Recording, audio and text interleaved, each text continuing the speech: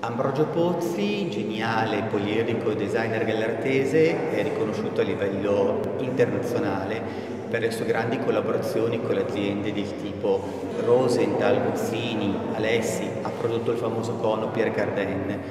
Inaspettatamente la chiesa di Sant'Antonio ospita una collezione appartenente alla famiglia Pozzi eh, nelle quali eh, lo stesso Pozzi si confronta con un tema particolare, quello dell'umano e del trascendente.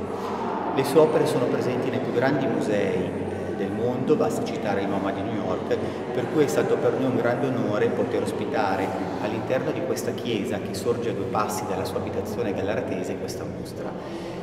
Da questa casa poi lui si affacciava ogni giorno, come descrive nelle sue memorie, e aveva la presenza ossessiva e inalienabile della cupola della basilica che l'ha portato a creare grandi pezzi come servizio TR13 del 1964 e non solo la lanterna conica l'ha portato appunto a progettare e a sviluppare tutta una serie di prodotti dal cono per Cardenna ad una serie di presepi dove questa figura conica del, del cono rappresenta lo slancio verso l'alto, verso Dio, verso l'apoteosi.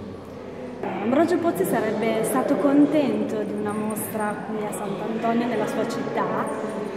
Ambrogio sarebbe stato contentissimo, anche perché lui è nato varese, però ha vissuto a Gallarate, ha amato Gallarate e poi la chiesa Sant'Antonio è sempre stata molto vicino a noi, quindi sicuramente. Poi è molto bella la mostra, è molto variegata e oltre a tutto c'è molto buon gusto, è quello che lui amava. Certo, e le opere sono tutte parte della collezione? No, sono tutte mie, sono parte della collezione che l'Ambrogio mi ha, quando è morto, trovato, perché io non potevo entrare nel suo, nel suo garage. E, ehm, quando bussavo, se voleva mi apriva o no.